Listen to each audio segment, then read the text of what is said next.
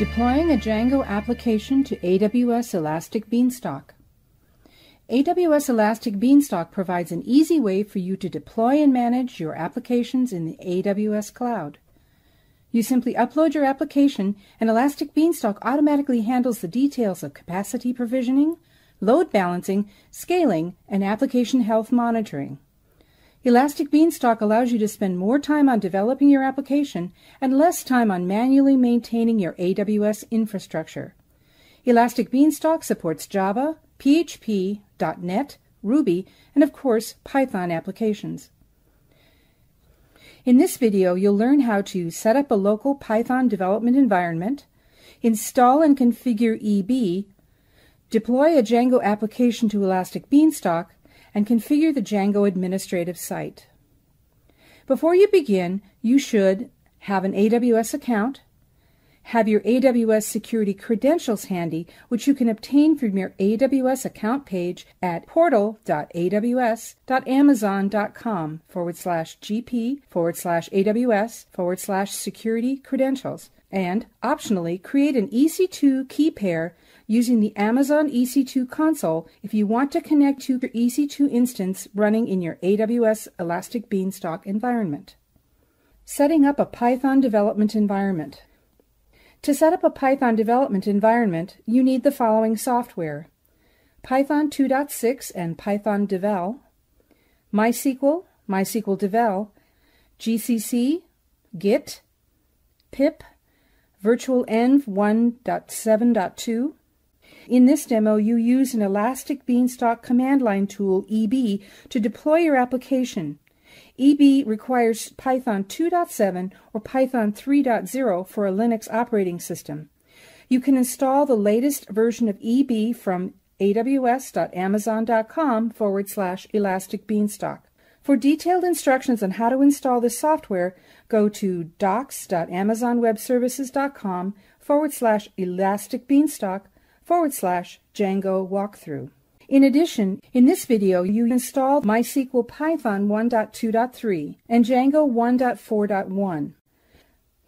In this step, you'll create a virtual environment, create a sample project site, and confirm that the Python server is functional. In this demo, we're using Amazon Linux, but you can do the same steps on other Linux operating systems and on Windows. First, let's create a virtual environment for our Django development.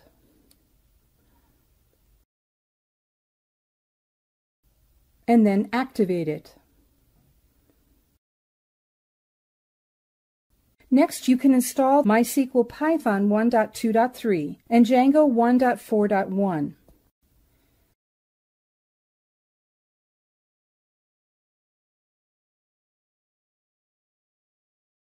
Now you can create the project structure. You can verify that the development server is operating correctly by typing the following command.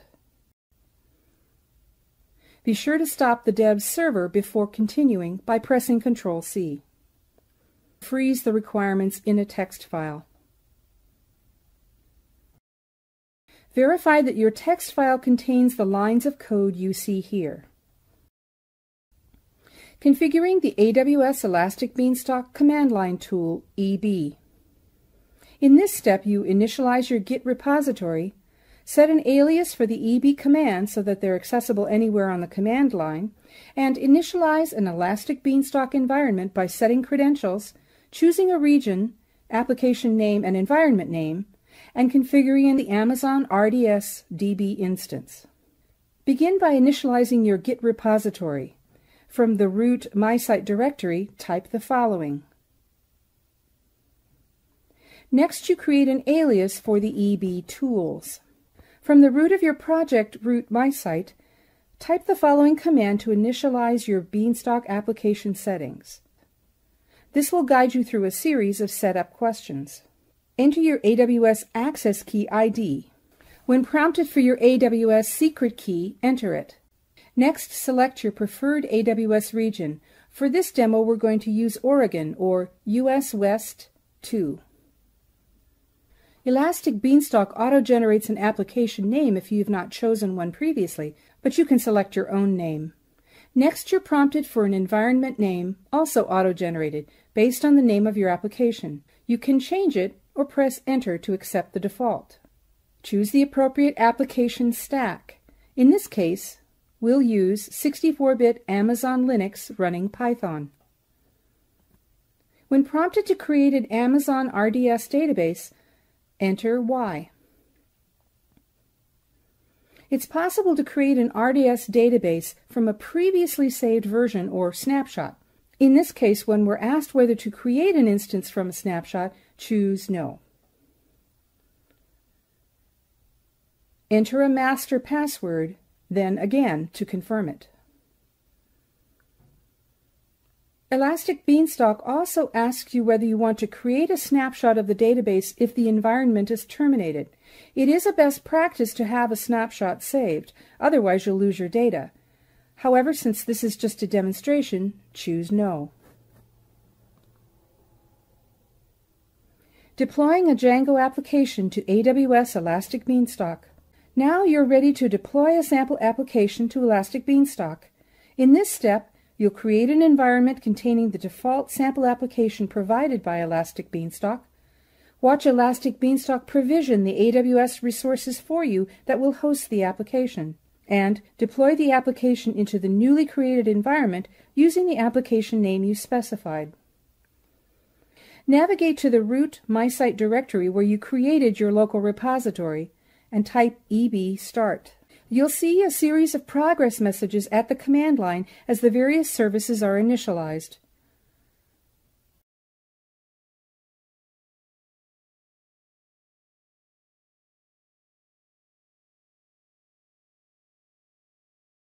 When complete, Elastic Beanstalk provides a URL for the application.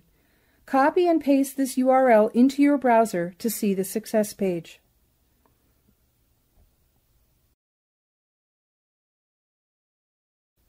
Now, update the default sample application to use the Django framework.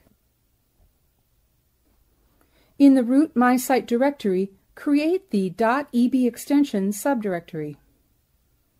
Create a config file in the .eb extensions directory. Copy and paste the following lines into the file and save it.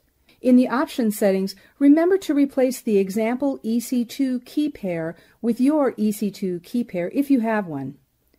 This code adds a database command, configures your Django settings, and provides a key pair to Elastic Beanstalk. Now navigate to root MySite MySite and edit the settings.py file to use the Amazon RDS DB instance we created.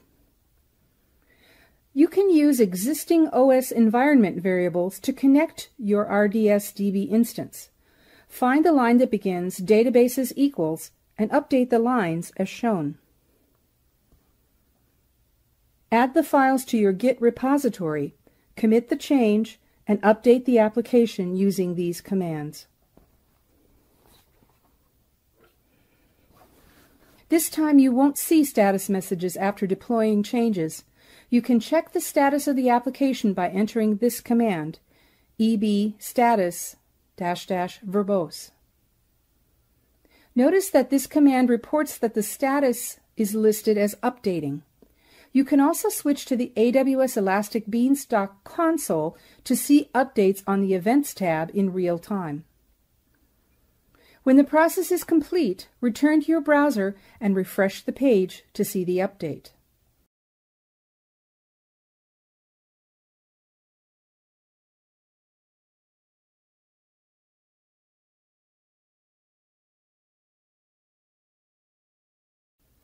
You can view CloudWatch statistics by switching to the AWS Elastic Beanstalk console and clicking the Monitoring tab for the application environment. CloudWatch provides a variety of pertinent statistics you can use to monitor the health of your application. For more information, see the AWS CloudWatch documentation online at aws.amazon.com forward slash documentation forward slash CloudWatch. Configuring the Django admin site. In this step, you'll enable the Django admin pages in the settings file, set a static root for all static content, update the application page with a link to the admin site, and update the configuration file with commands to enable the admin site. Now configure the Django admin site by editing the root mysite mysite settings.py file as follows.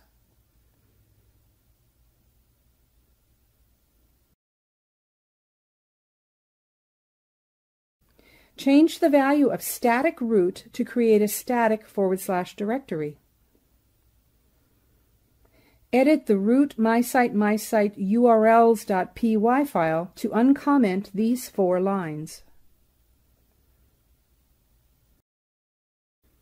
Create a new file in the root mysite mysite directory called views.py. The following lines create a link to the Django administrative site. Navigate to the root mysite directory, create a new directory called scripts, and then open the directory. Create a new file containing commands that initialize the Django admin site. Add the following lines to create the admin user's name, password, and permissions. Make the file executable by updating the permissions.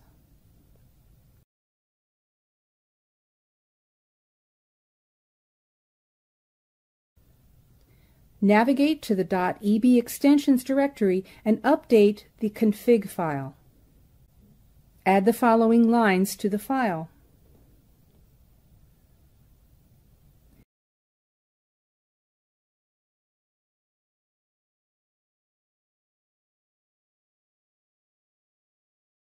Return to the project root directory, add the files to Git, and then commit the changes.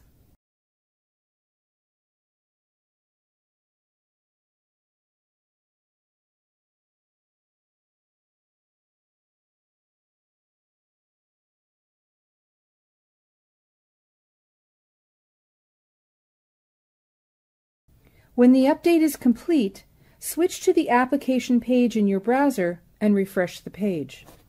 Clicking the hyperlink takes you to the login page for the Django admin area.